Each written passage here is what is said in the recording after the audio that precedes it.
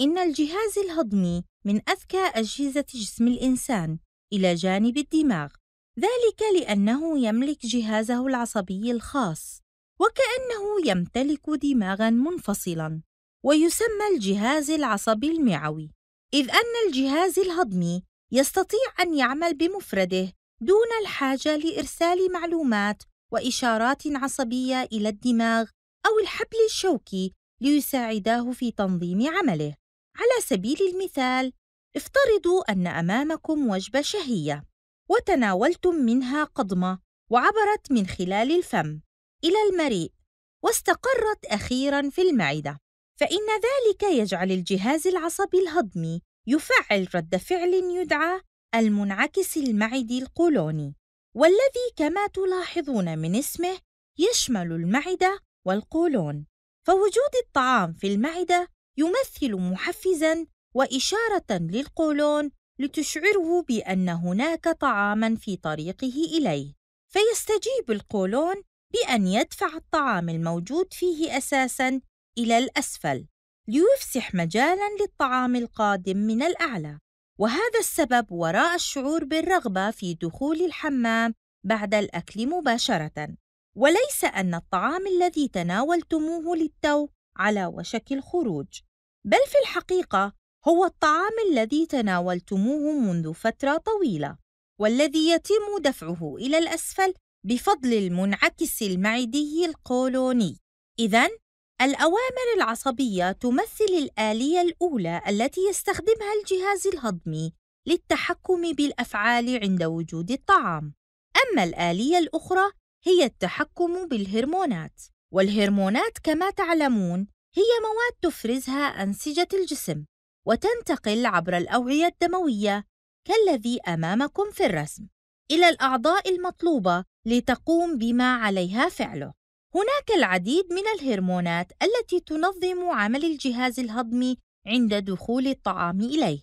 الهرمون الأول هو الجاسترين، وهو هرمون يتم إفرازه عند استشعار وجود طعام في المعدة. ويتم إفرازه من خارج المعدة ليدخل الدورة الدموية، ثم يعود مرة أخرى إلى المعدة ليحفز إفراز العصارات الهاضمة. بمعنى آخر، فإن دخول الطعام إلى المعدة سيجعل الخلايا المخاطية تفرز هرمون جاسترين، والذي بدوره يحفز إفراز عدة مواد من المعدة. أولاً، حمض الهيدروكلوريك أو حمض المعدة، الذي تفرزه الخلايا الجدارية. وثانياً البيبسينوجين أو مولد البيبسين الذي تفرزه الخلايا الرئيسية. وكما تتذكرون أن البيبسينوجين هو النسخة غير الفعالة من البيبسين الذي تتمثل وظيفته في هضم البروتينات. كما يقوم الجاسترين أيضاً بزيادة قدرة المعدة على الحركة. فالمعدة لا تقوم بإفراز العصارات الهاضمة فقط، بل تقوم بطحن الطعام وعجنه ليتحول إلى مادة شبه سائلة تسمى الكيموس، وبعدها تدفع المعدة بالكيموس إلى الاثنى عشر. تستمر عملية إفراز الجاسترين في الدم حتى تصل حموضة المعدة إلى حد معين، أو بمعنى آخر حين ينخفض الرقم الهيدروجيني pH إلى ثلاثة. حينها يقل إفراز الجاسترين. وكما تذكرون المرحلة التالية من عملية الهضم هي دخول الكيموس إلى الأمعاء الدقيقة التي تبدأ بالإثنى عشر. وهذا يحفز إفراز هرمونين آخرين.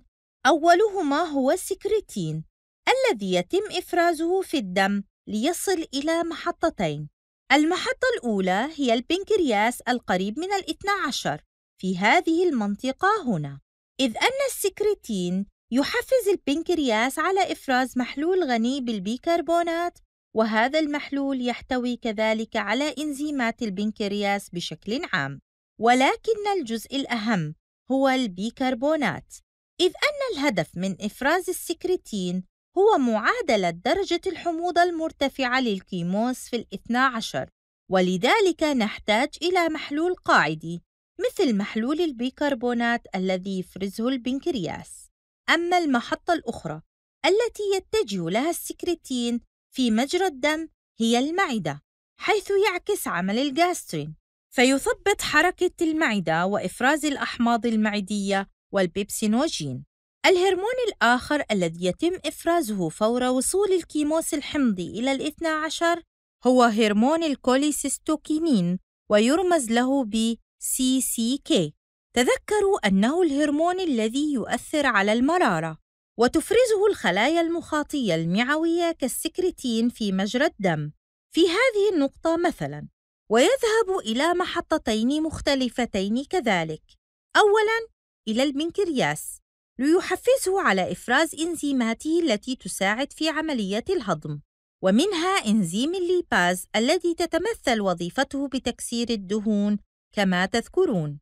والمحطة الأخرى للكوليسيستوكينين هي المرارة حيث يحفزها على الانقباض. لقد عرفتم سابقاً أن وظيفة المرارة هي الاحتفاظ بالعصارة الصفراوية أو الصفراء التي ينتجها الكبد. وعندما تنقبض المرارة تطلق العصارة الصفراوية التي بداخلها إلى القناة المرارية ثم إلى القناة الصفراوية المشتركة لتفرز في الاثنى عشر. لتعمل على تكسير الدهون وتحويلها إلى مستحلب دهني. والوظيفة الأخرى للكولوسيستوكينين هو أنه يؤثر على المعدة بتثبيط حركتها وإبطاء إخراج الكيموس منها نحو الاثنى عشر لتوفير وقت كاف لمعالجة الكيموس الموجود أصلاً في الاثنى عشر. ربما تتساءلون ماذا يوجد في الكيموس ليجعل الأمعاء تفرز الكوليسيستوكينين والسكرتين في الدم؟ لابد من وجود مادة غذائية محددة أو جزيئات معينة تحتاج مثلاً للعصارة الصفراوية من المرارة ولإنزيم اللايبيز من البنكرياس. إنها الدهون. فالدهون الموجودة في الكيموس هي ما يحفز إفراز الكوليسيستوكينين أما السكرتين وبما أن وظيفته هو معادلة حموضة الكيموس المرتفعة من خلال إفراز البيكربونات القاعدية من البنكرياس فذلك يعني أن السبب في إفرازه ليس جزيئاً ضخماً محدداً بل هو حمض الهيدروكلوريك الذي تفرزه المعدة ويصل إلى الاثنى عشر مع الكيموس. وبذلك تظهر الحاجة إلى المحلول الغني بالبيكربونات من البنكرياس وإلى السكرتين المسؤول عن إفرازه. هذه لمحة عن دور الهرمونات في التحكم بعمل القناة الهضمية. وقد عرفتم سابقاً بالتفصيل عن البنكرياس والهرمونات التي يفرزها الأنسولين والغلوكاغون. إذ يتم إفراز الأنسولين عند زيادة نسبة السكر أو الجلوكوز في الدم لتخزين هذا الجلوكوز في الخلايا لحين استخدامه لاحقاً. والعكس يحدث عند انخفاض نسبة السكر أو الغلوكوز في الدم. إذ يتم إفراز هرمون الجلوكاغون لإخراج الجلوكوز المخزن في خلايا الدم من جديد. وبذلك تدركون أن كل هذه الهرمونات تعمل بتناغم وانسجام. إذ يتم إفراز كل هرمون في الوقت المناسب ليقوم بالوظيفة المناسبة منذ لحظة دخول الطعام إلى المعدة والبدء بهضمه حتى خروجه من الجسم والفضل بذلك يعود إلى الهرمونات والجهاز العصبي المعوي عامة وبهذا ينتهي الدرس.